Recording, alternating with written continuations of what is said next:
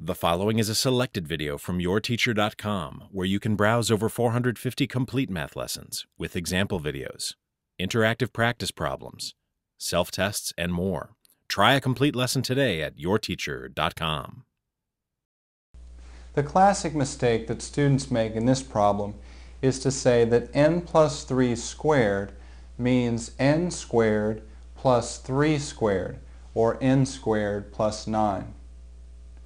Remember, however, that n plus 3 squared means n plus 3 times itself, or n plus 3 times n plus 3. So we really have two binomials that are multiplying together. And to simplify this problem, we must use the FOIL method.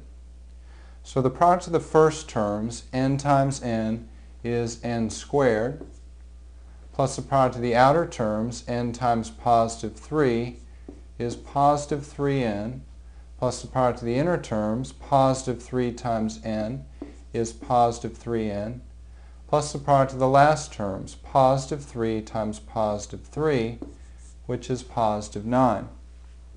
Combining our middle terms, we have n squared plus 6n plus 9 for our final answer. Remember, whenever you square a binomial, you must write it out as that binomial times itself, then FOIL.